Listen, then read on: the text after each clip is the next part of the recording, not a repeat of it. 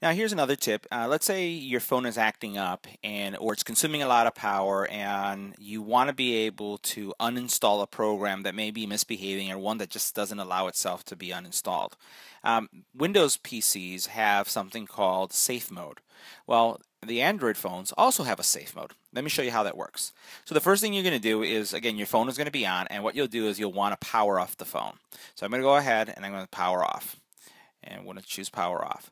Now once the phone powers off completely, the next step is to uh, turn the phone back on, but this time you're going to hold the volume down button. So what we're going to do is going to continue to hold the, down, the volume down button until we enter um, this safe mode. So I'm going to press the volume down button. I'm going to tap the phone to turn it on. So once I see the logo come up, I'm going to let go, but again, I'm keeping the volume down button depressed. Give it a couple seconds you can see what to expect. I'm not letting go yet. I'm going to keep it down. And you want to keep it down even through the um, AT&T logo or any logo that you may have from any uh, manufacturer. Now, uh, notice what you see on the bottom here safe mode.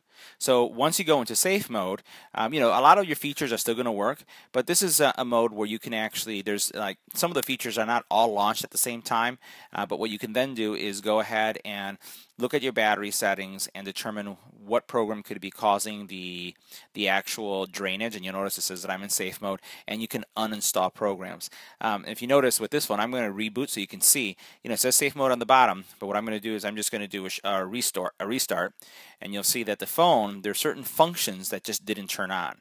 And when we get back to my uh, home page, that the, the first page, you'll notice that my clock wasn't there, which is an actual widget uh, was disabled. So there are certain things that are disabled. They're going to give you an ability to kind of figure out what's going on with your phone.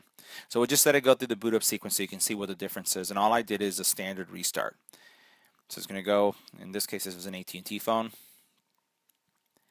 And we should have our home screen up. All right, and I'm going to use my fingerprint to log in and you'll notice that my widget is here this time. So certain things do get turned off, certain things don't get launched, but this is a good way for you to troubleshoot and figure out what's going on with your phone.